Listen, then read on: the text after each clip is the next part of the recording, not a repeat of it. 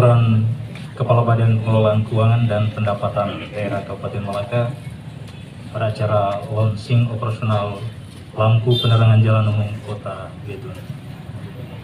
Yang terhormat Bapak Bupati Malaka, yang terhormat Bapak Wakil Bupati Malaka, yang kami hormati pimpinan DPRD Kabupaten Malaka,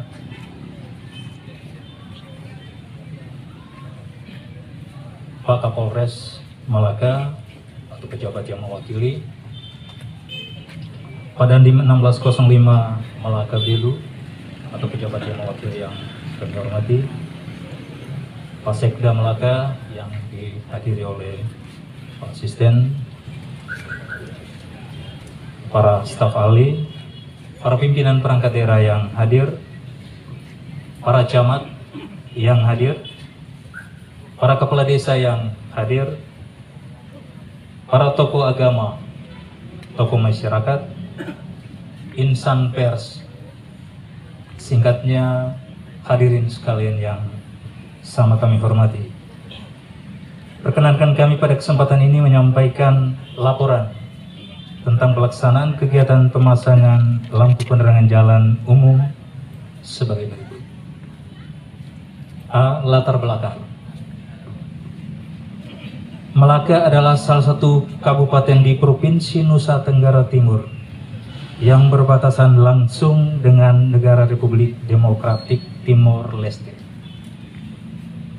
Sebagai kabupaten termuda di Provinsi NTT yang baru berdiri pada tahun 2013 atau kurang lebih baru 8 tahun, Kabupaten Melaka terus berbenah diri membangun infrastruktur daerah perbatasan dalam mendukung akselerasi atau percepatan pembangunan daerah demi mewujudkan cita-cita luhur Renu Malaka yaitu bonum komuni karena kesejahteraan rakyat sesungguhnya merupakan hukum tertinggi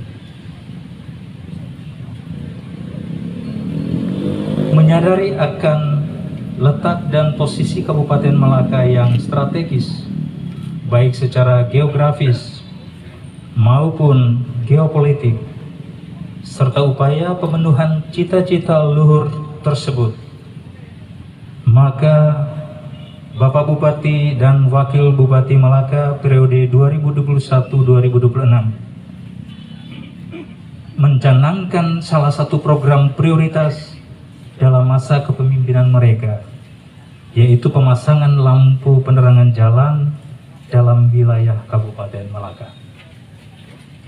Pemasangan lampu penerangan jalan sebagai salah satu prioritas daerah sangat beralasan dilakukan, dilandasi dengan pertimbangan sebagai berikut. Satu, bahwa pemasangan lampu penerangan jalan umum sebagai upaya pemenuhan hak masyarakat Malaka karena masyarakat telah memenuhi kewajiban membayar pajak penerangan jalan sebagai wujud kontribusi nyata masyarakat dalam pembangunan. Yang kedua, untuk mendukung aktivitas perekonomian masyarakat, terutama pada malam hari dalam mendukung pertumbuhan ekonomi daerah. Yang ketiga, mereduksi atau mengurangi terjadi kerawanan sosial dalam wilayah Kabupaten Belu dan sekitarnya. Kabupaten Malaka dan sekitarnya, mohon maaf. Seperti pencurian dan gangguan kamtipmas lainnya. Yang keempat, mendukung upaya terwujudnya Betun sebagai salah satu kota perbatasan yang maju, aman, indah, dan berdaya saing. Yang kedua dasar hukum. Satu, Undang-Undang Nomor 25 Tahun 2009 tentang Pelayanan Publik. Dua dan seterusnya tertulis terbaca. C. Perencanaan dan pelaksanaan kegiatan. Proses perencanaan diawali dengan presentasi rencana pekerjaan pemasangan lampu penerangan jalan umum bersama Bupati Malaka dilanjutkan dengan rapat pembahasan bersama tim anggaran dan Banggar DPRD dan penetapan APBD perubahan tahun 2021 oleh Bupati Melaka. Sebelum kegiatan dilaksanakan, dilakukan rapat sosialisasi kepada masyarakat Kota Betun dan sekitarnya yang dihadiri Camat Kobalima, Cabat Melaka Tengah, PJ Camat Wiliman, Kepala Desa Kamanasa, Kepala Desa Wehali, Kepala Desa Umakatahan, Kepala Desa Barene, untuk mengintegrasikan pemahaman tentang pentingnya pemasangan lampu penerangan jalan umum dan membangun komitmen bersama untuk menjaga dan memelihara lampu penerangan jalan umum sebagai bagian dari aset pemerintah daerah.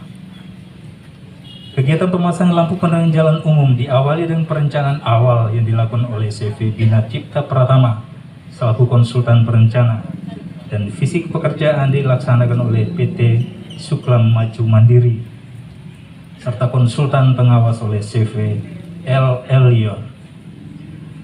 Jumlah lampu penerangan jalan umum yang terpasang saat ini sebanyak 215 titik dengan perincian 124 titik menggunakan tiang baru, tiang oktagonal dengan tinggi kurang lebih 7 meter, single arm.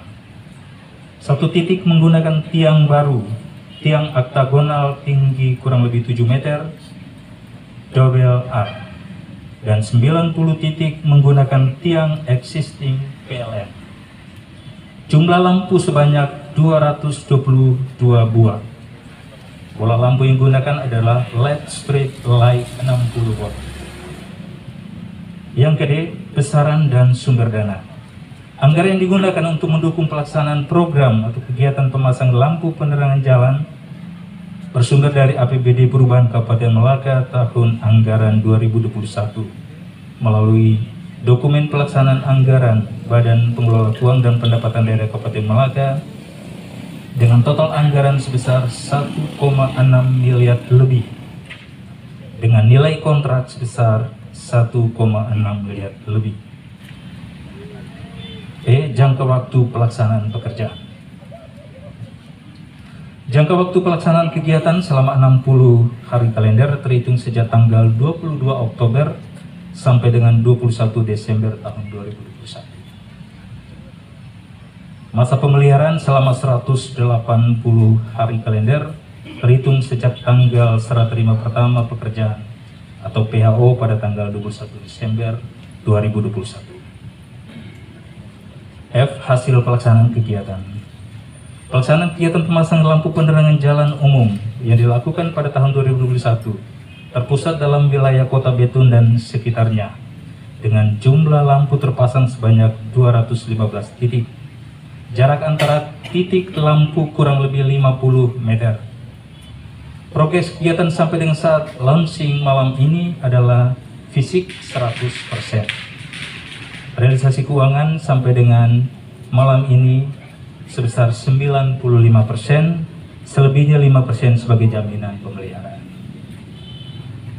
Jalur pemasangan dan titik lampu penerangan jalan umum. Yang pertama Simpang Webua, Simpang Sukabihenawa sebanyak 8 titik, samping Sukabihenawa, Simpang Sukabihenawa, mata air Tubaki sebanyak 30 titik, mata air Tubaki sampai simpang kantor camat Melaka Tengah sebanyak 36 titik, simpang kantor camat Melaka Tengah sampai jembatan Manumuti sebanyak 20 titik, simpang kantor camat Melaka Tengah sampai simpang Matai sebanyak 22 titik, simpang kantor camat Malaka Tengah sampai simpang Puskesmas Betun sebanyak tiga titik, simpang Pasar Beabu sampai simpang SMA Plus Weleun sebanyak 62 titik. Kompleks kantor bupati sebanyak tiga unit, simpang toko perkasa sampai simpang puskesmas Betun sebanyak 6 titik. Kompleks paroki gereja Santa Maria Fatima Betun sebanyak 5 titik kompleks gereja Ebenezer sebanyak tiga titik, kompleks masjid dan pasar betun sebanyak tujuh unit, kompleks Masjid Agung Betun sebanyak 2 unit. Titik panel meteran listrik sebanyak 4